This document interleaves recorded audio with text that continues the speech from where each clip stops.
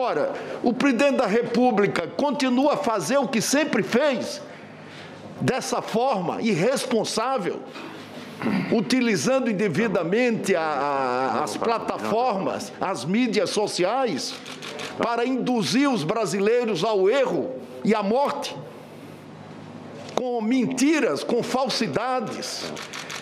Nós, senhor presidente, jamais esperávamos chegar no Brasil a tamanha irresponsabilidade.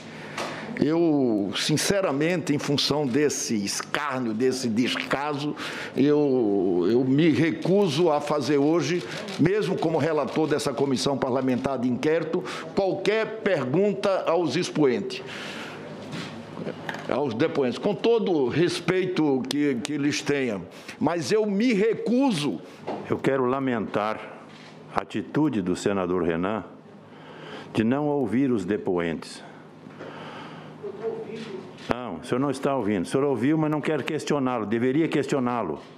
Deveria. Ok, eu não quero lhe obrigar. Mas é dois pesos e duas medidas. Quando lhe interessa questionar quem o senhor quiser questionar, que, como questionou aqui, aqui tem cientistas, aqui tem médicos que trataram pacientes. Doutora Luana não tratou um paciente. A doutora Natália Pasternak não tratou um paciente. Aqui tem centenas, milhares de pacientes tratados por esses dois senhores aqui.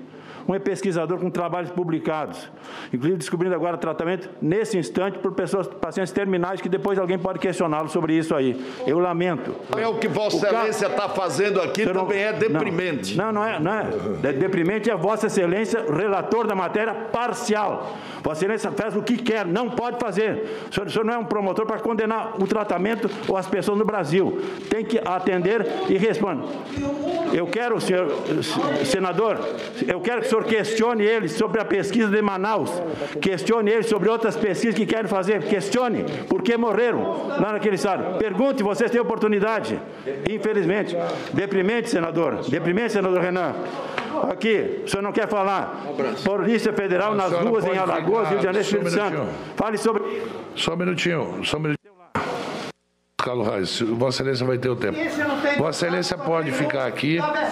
É, então discuta ciência, ciência com cientistas. não pode. Essa ausência deliberada macula, nulifica, deslegitima os atos do relator e dos membros da oposição.